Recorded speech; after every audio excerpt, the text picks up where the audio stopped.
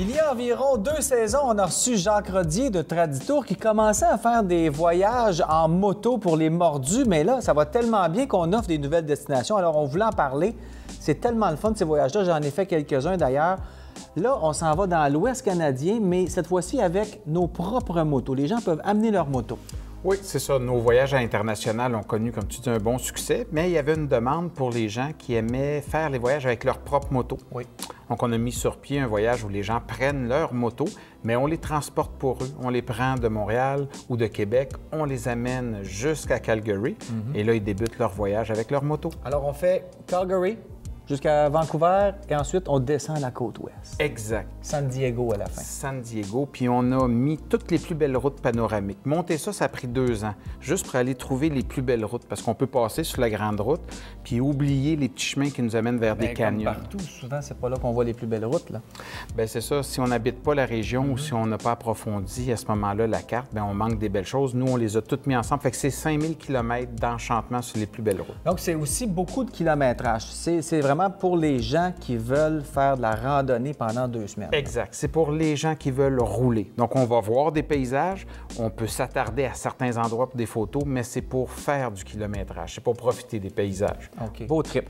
Un autre trip intéressant que tu lances, Jacques, c'est l'Inde à moto. Je peux même pas concevoir à quel point ça va être cool d'être en Inde en moto. Et c'est des motos euh, fabriquées en Inde, les Royal Enfield en plus. Exact. C'est des motos typiques pour le pays.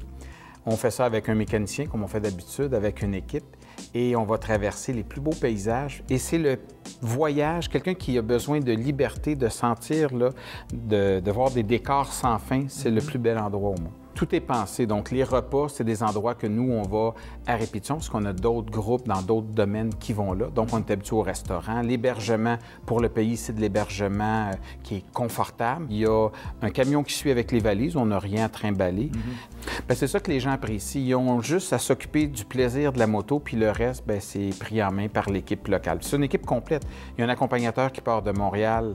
Il y a sur place les guides. Il y a les équipes de cuisine. Là, je parle pour l'Inde qui suivent. Puis à ce moment-là, la personne, la seule chose qu'elle a à faire, c'est faire de la moto. Puis c'est, c'est plaisant. Pour ceux qui ont aimé dans le temps les bonnes vieilles euh, Triumph, euh, Oui. les modèles d'époque, ben, on retrouve ça sur le Royal Enfield. Les contrôles sont du bon côté, parce qu'il y a des fois des Royal Enfield, les contrôles étaient inversés, comme en Angleterre. Ouais. Ah oui? Tandis que celle-là, c'est du bon côté. Parfait. Bien, merci beaucoup d'offrir ça parce que c'est vraiment des voyages qu'on ne peut pas faire ailleurs.